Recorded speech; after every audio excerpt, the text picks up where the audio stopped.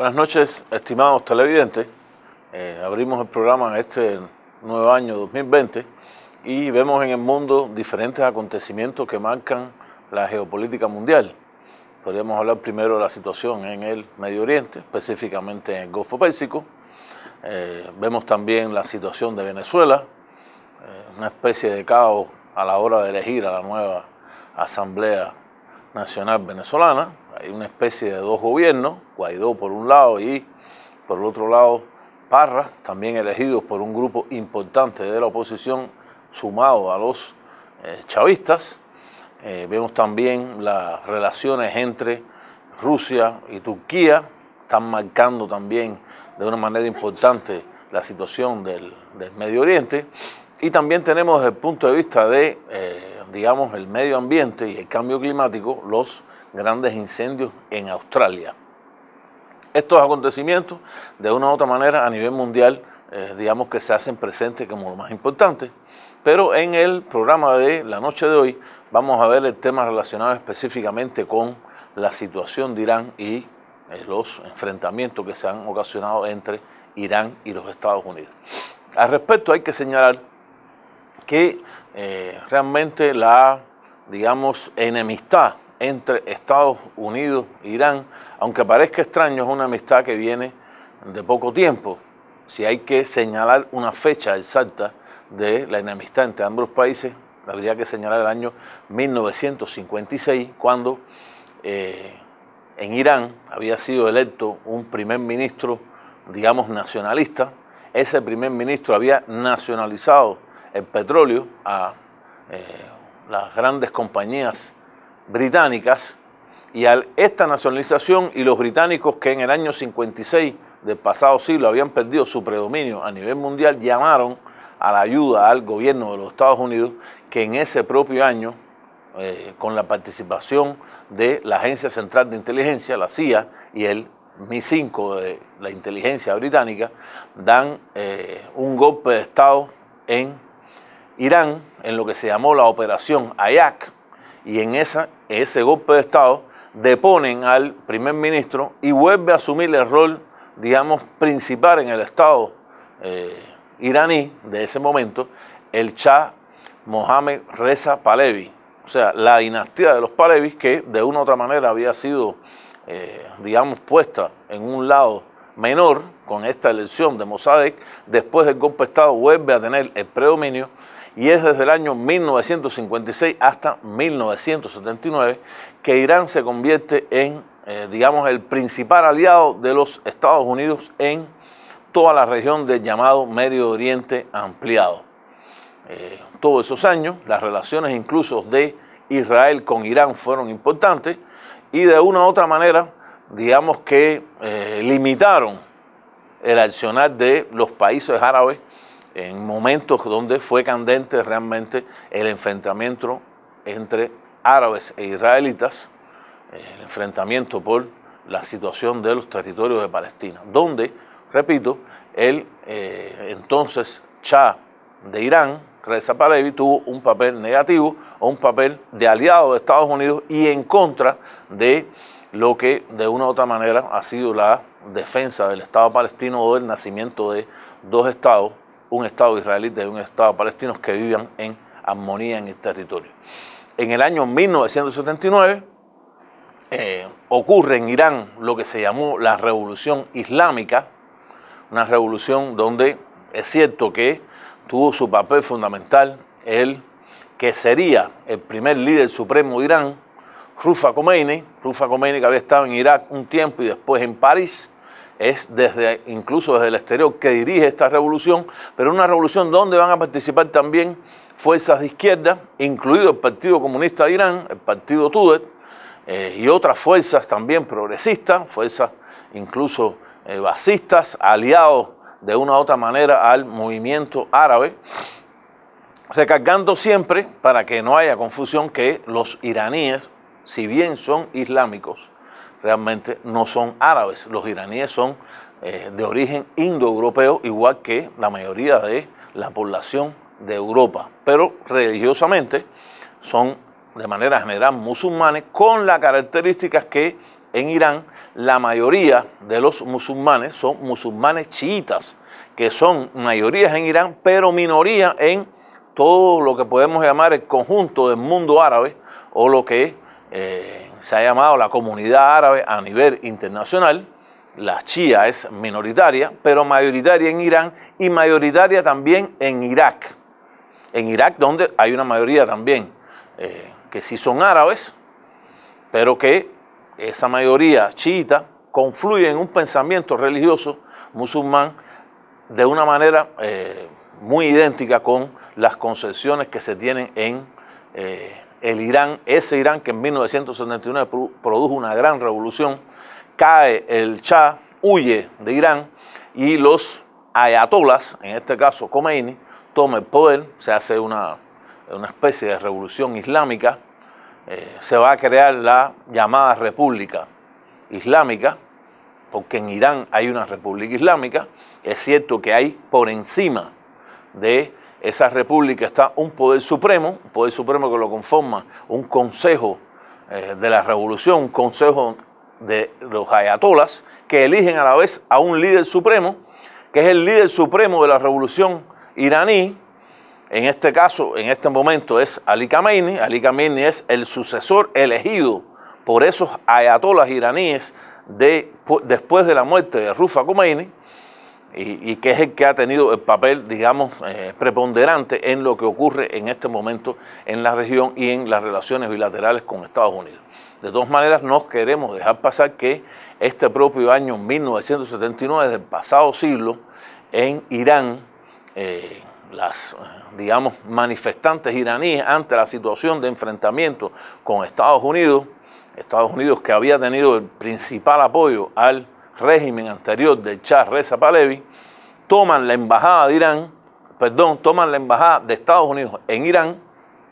y ante esta toma toman también como rehenes, baja la, valga la redundancia, a todos los miembros o a una gran parte de los miembros de la embajada estadounidense en Irán, lo cual produjo en este año 1979 que el entonces presidente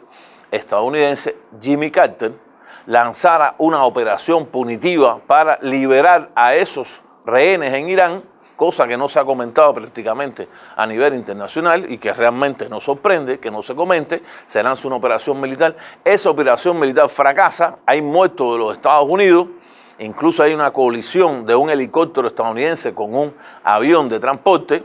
Finalmente los Estados Unidos, esas tropas que trataron de liberar a los rehenes tuvieron que huir y es una de las causas fundamentales por las cuales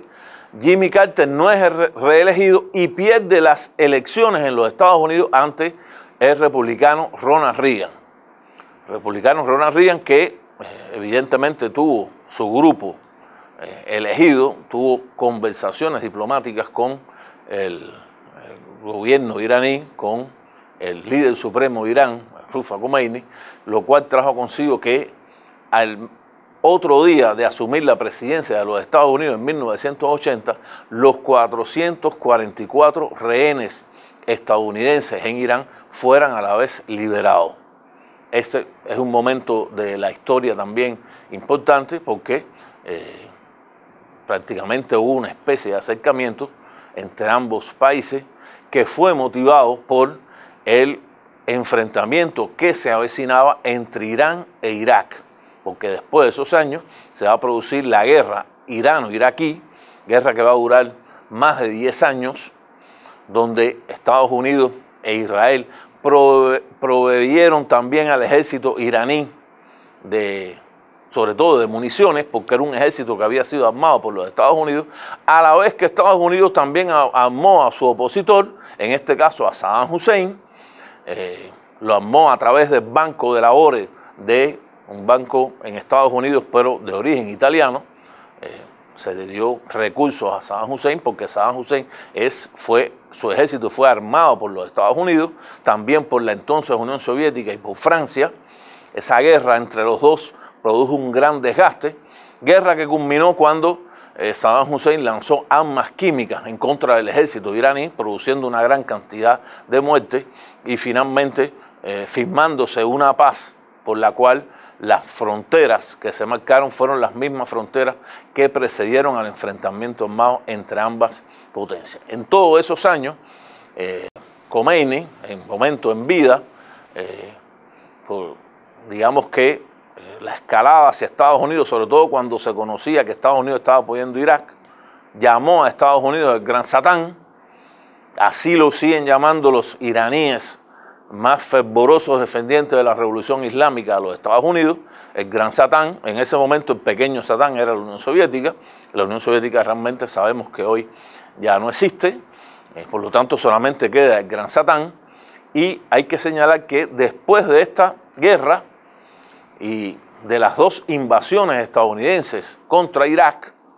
1991 y el año 2003, que culminaron con la derrota del régimen basista en Irak y el eh, enjuiciamiento y asesinato del entonces presidente iraquí Saddam Hussein, que como conocemos fue ahorcado, eh, digamos que Irán eh, o va a ocurrir en Irán lo que muchos investigadores del momento llamaron el renacer del poderío persa, el renacer del poderío iraní en la región. Irán en esos años después de la guerra empezó un proceso de reconstrucción económica, proceso de reconstrucción económica basado en la producción de petróleo e incluso empezó un proceso de, eh, digamos, desarrollo de la industria eh, militar, también eh, una propuesta de desarrollo de la industria de la energía atómica, que ha traído grandes consecuencias, digamos, para el desarrollo de Irán por la oposición de muchos países de la región, incluido Estados Unidos, pero no es menos cierto también que Rusia eh, no quiere que Estados Unidos tampoco, que perdón, que Irán tenga armas nucleares, no quiere Pakistán, no quiere eh, la India, no quiere Israel, porque sería entonces la principal oposición armada de eh, un país que hay que señalar que tiene 90 millones de habitantes, está un país que tiene más de 90 millones de habitantes, se acerca a los 100 millones, tiene una amplia población, entonces ese desarrollo que viene posteriormente de Irán va a conducir de una u otra manera a, eh, digamos, los acontecimientos que eh, tendremos el gusto de analizar en la segunda parte del programa.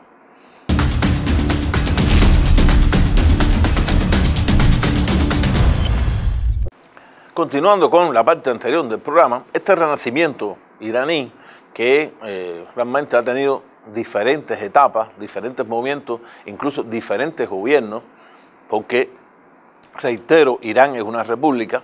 una república islámica, o sea, eh, confluyen a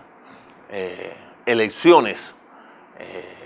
diferentes, incluso candidatos de alas más, digamos, más ortodoxas o de alas supuestamente menos ortodoxa en Irán, es verdad, siempre aprobados por eh, el líder supremo de la revolución iraní, repetimos en este caso, hoy, después de la muerte de, de Khomeini, Ali Khamenei, eh, pero van a elecciones. Esas elecciones eligen un presidente. Hoy el presidente Museveni, que es el presidente de, eh, perdón, el presidente Rouhani, que es el presidente de, actual de Irán, eh, es un presidente que fue electo por millones de votantes iraníes. Yo creo que eso debe quedar bien claro porque muchas veces la prensa internacional da la impresión de que en Irán hay una especie de dictadura teocrática y realmente hay un importante poder de los ayatolás. Hay un líder supremo que es un ayatollah que según la tradición chiita duodecimana iraní es el que sustituye al duodécimo Mahdi al duodécimo Mesías que un día aparecerá, pero que mientras no aparece ese líder supremo de la revolución eh, iraní es el que lo sustituye. O sea, hay un poder religioso que es evidente, pero también hay elecciones en Irán, se eligen, hay diferentes candidatos y este es el caso de, en este momento, Rouhani, que es el presidente de Irán, que en realidad es la segunda figura más importante de Irán. Y con esto estamos también dejando claro que esas informaciones de tipo mediática que han planteado que el eh, asesinado eh, general iraní eh, era el, segundo, digamos, personaje más, importante de la política eh, iraní, Soleimani, realmente, eh, Qasem Soleimani, realmente eso no es cierto. Hay un presidente y hay incluso un consejo de la revolución que es más importante. Sí tenía el asesinado general iraní un papel, digamos, militar importante en la zona, cosa que vamos a analizar en esta parte del programa. Hay que destacar que eh, las relaciones entre los Estados Unidos e Irán, de una u otra manera, eh, después de la desaparición del régimen de, esa, de Saddam Hussein, de la derrota y de, eh, su ahorcamiento, de su asesinato, han ido, digamos que, resquebrajándose. Si, si hubo en, en los momentos, digamos, de la década del 90 del pasado siglo y los primeros años del siglo de este siglo XXI, una especie de, digamos, de cohabitación entre los intereses estadounidenses y iraníes en la región, después de eh, la creación de la nueva república iraquí, esto se ha ido desgastando. Hay que destacar que en Irak, después de, eh, digamos, de la derrota de Saddam Hussein, ha asumido el poder eh, la mayoría iraquí, que es también chiita. Hasta el momento anterior, incluso Saddam Hussein era un musulmán sunita. O sea, de la minoría, eh, él es la minoría religiosa la que tuvo el poder en Irak desde el nacimiento del Estado eh, o del moderno Estado iraquí. Es después de Saddam Hussein que por primera vez la mayoría chiita accede al poder y evidentemente hay una relación desde el punto de vista religioso entre los chiitas iraquíes con los chiitas iraníes. Son los dos únicos países del mundo donde musulmanes, donde la mayoría no son musulmanes sunitas, sino que son musulmanes chiitas. Incluso en la ciudad iraquí de Kerbala está la tumba de Hussein, no Saddam Hussein, sino Hussein, el hijo de Ali, el hijo de eh, Ali, el cuarto eh, califa del, mundo musulmán, casado con la hija de Mahoma, y ese, ese Hussein, hijo de Ali, asesinado, su tumba es la tumba de veneración fundamental que tiene el, el mundo musulmán chiita, que se venera todos los años el día de su muerte muerte que ocurrió hace más de 1200 años y que sin embargo la veneración anual es prácticamente como si hubiese muerto ese mismo día. O sea, eh, es importante destacar esto porque nos dice la relación que tiene la mayoría de los iraquíes con, con ese Irán chiita, la mayoría de los iraquíes que son árabes, no son iraníes, pero que religiosamente son iguales y que evidentemente trae consigo una, digamos, mejor relación entre ambos eh, estados lo cual no le conviene al, eh, a los Estados Unidos. Eh, Estados Unidos siempre ha planteado o ha señalado que el interés principal de Irán es construir la bomba atómica, impulsado y, eh, digamos, empujado por la propaganda del Estado sionista de Israel. la Organización Internacional de la Energía Atómica, que monitorea las actividades nucleares de Irán, ha planteado de que Irán eh, no tiene acceso a la bomba atómica hasta este momento, tiene grandes centrifugadoras de uranio, pero esas centrifugadoras tendrían que tener un por ciento, llegar a un 90%, y en este momento están alrededor del 5%, o sea, realmente no hay capacidad para hacer un uranio enriquecido que arme una bomba atómica, y eh, lo cual nos dice a nosotros que realmente la propaganda que se ha hablado realmente no es cierta. Estados Unidos, eh, recordemos que con eh, la, toma del el poder de la nueva administración estadounidense de Trump, planteó que eh, lo primero, una de las principales medidas que hizo fue salir del acuerdo, el acuerdo ese 5 más 1, que era de las grandes potencias, digamos, China, Rusia, Estados Unidos, Francia, Inglaterra,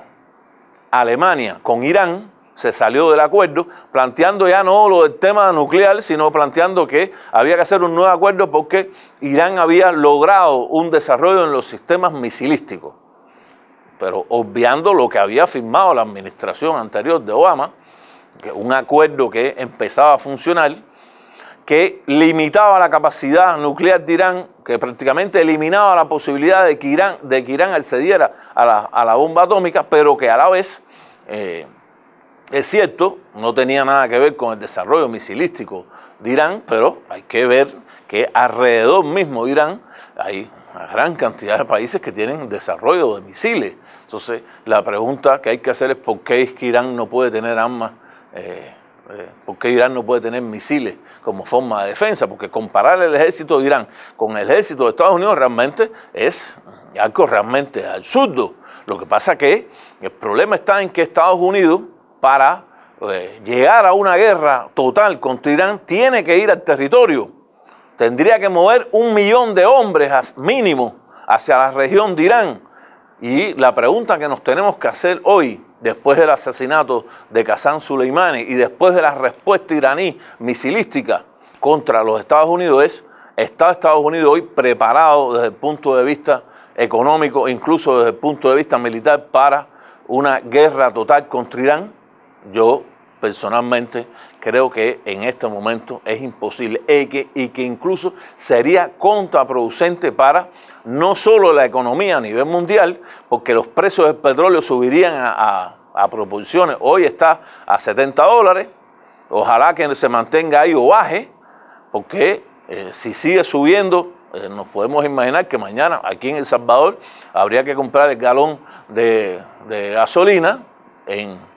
5 o 6 dólares. Así llegaría la situación, incluso más, si, si, el barril de petróleo sube a 100, 120 dólares el barril, pero esa misma economía mundial afectaría a los Estados Unidos. Lo afectaría en el sentido de que la economía estadounidense no puede funcionar con precios, con esos precios en el petróleo. Tiene que puede funcionar con precios de petróleo que están entre 50 y 60 dólares. O sea, habría, habría una caída de la economía estadounidense por aumento de los precios.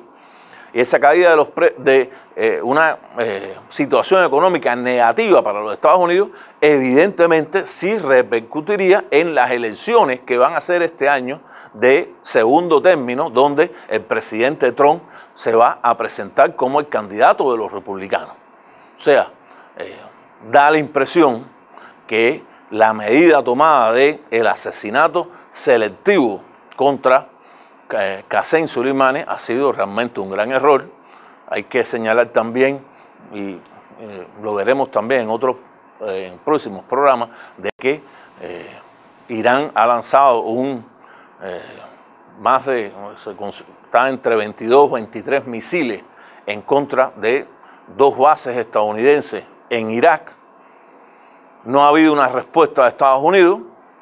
Eh, primero no hubo una respuesta militar, o sea, Estados Unidos ni siquiera pudo derribar esos misiles. Recuerden que cuando han habido ataques contra las bases rusas en,